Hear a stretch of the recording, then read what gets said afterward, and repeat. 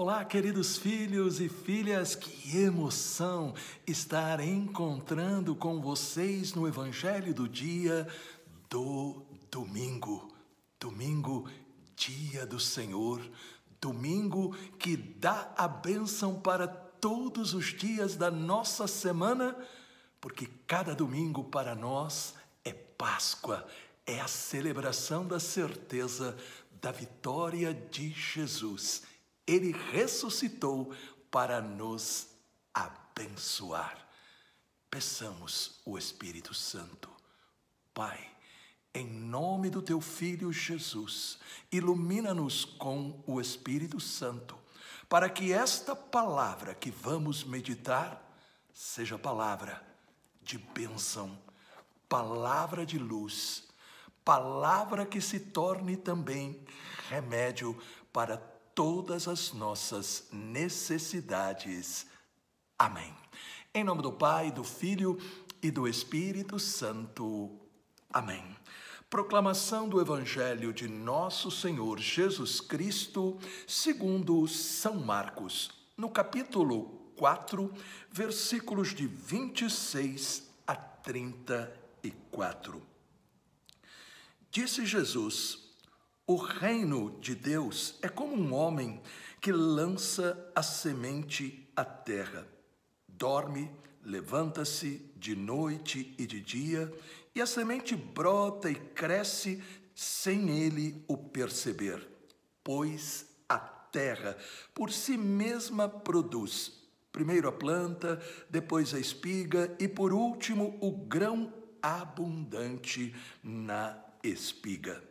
Quando o fruto amadurece, ele mete-lhe a foice, porque é chegada a colheita. Dizia também Jesus: A quem compararemos o reino de Deus? Ou com que parábola o representaremos? É como o grão de mostarda, que quando é semeado é a menor de todas as sementes mas depois de semeado, cresce, torna-se maior que todas as hortaliças e estende de tal modo seus ramos que as aves do céu podem abrigar-se à sua sombra.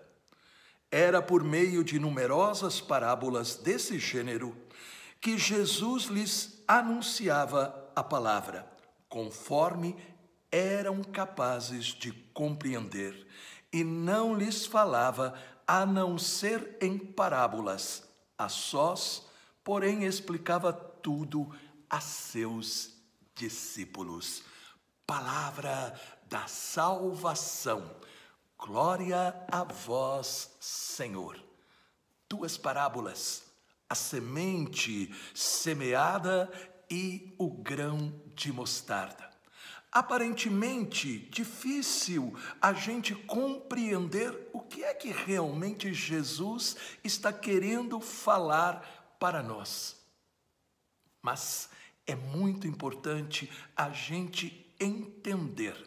A mensagem principal de Jesus é a certeza de que o reino de Deus está entre nós.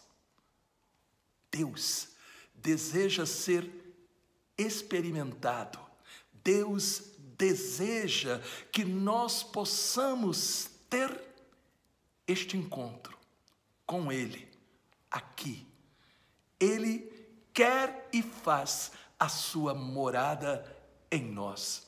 Isto significa Deus não está em algum lugar distante, mas Ele está presente em nosso dia a dia, naquilo que nós fazemos.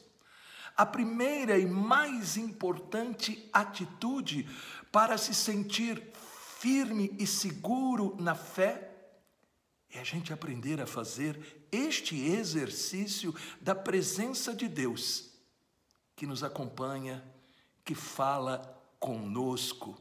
Isso traz para o nosso coração uma profunda paz, curando-nos, libertando-nos do medo, da ansiedade, da insegurança, porque faz a gente reconhecer que Deus está sempre junto de nós.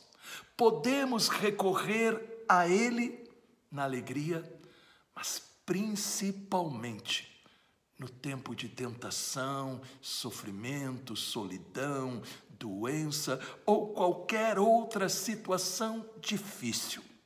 É necessário permitir ao Espírito Santo nos dar esta consciência da presença amorosa de Deus, tanto nas obrigações comuns do nosso dia a dia, como também na nossa prática religiosa.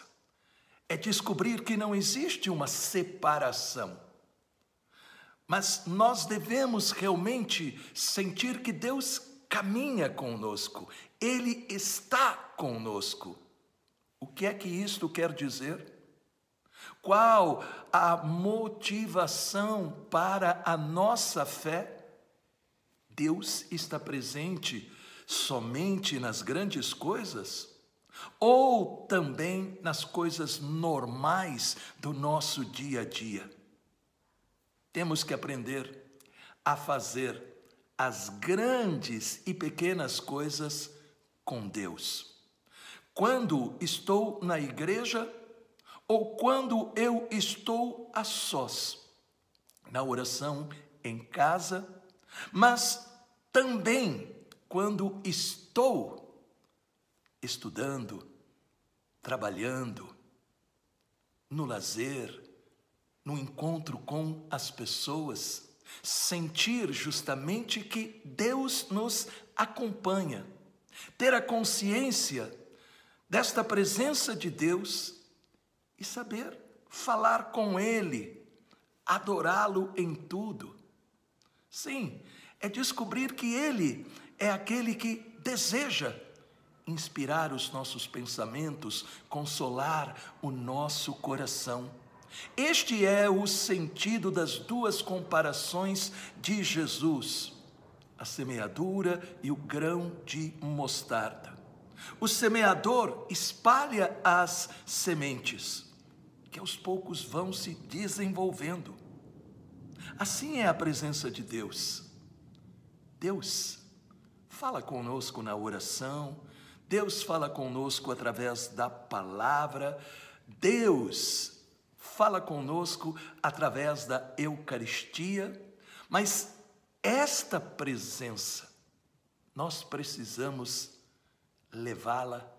Lá quando nós estamos tomando café, quando nós estamos fazendo comida, quando nós estamos caminhando, nós temos que ser capazes de reconhecer: Deus está comigo e falar: Obrigado, Senhor, porque eu sei que não estou sozinho. Esta presença, ela cresce na medida em que nós vamos nos apropriando desta certeza do amor de Deus. Deus, meus queridos, não está lá distante e nem ocupado demais para nos ouvir para estar conosco. Não. Deus é aquele que deseja que a gente entenda. Ele está aqui. Ele está aqui. Fez a sua morada. Por isso, se você estiver vivendo um momento em que a solidão está tentando sufocar a sua fé, se você está sem forças para enfrentar o momento atual, se você está precisando se levantar, quem sabe de alguma queda, vencer uma tentação, ou está, quem sabe até num leito de dor ou passando por outros problemas, como eu estou falando com você, fale com Deus porque Ele é aquele que diz, que nos ouve, que responde, que desce até nós para nos renovar, para a vitória. Deus maravilhoso, Deus bendito, cobre-nos com a força do Espírito Santo, para que nós possamos reconhecer a cada instante tua presença que nos acompanha, salva, cura e liberta. Manifesta, Senhor, o teu amor em nós. Em nome do Pai, do Filho e do Espírito Santo. Amém. Esta mensagem impactou o seu coração? Então, meu querido, não guarde somente para você. Deixe um comentário e também compartilhe. Tenha um domingo abençoado.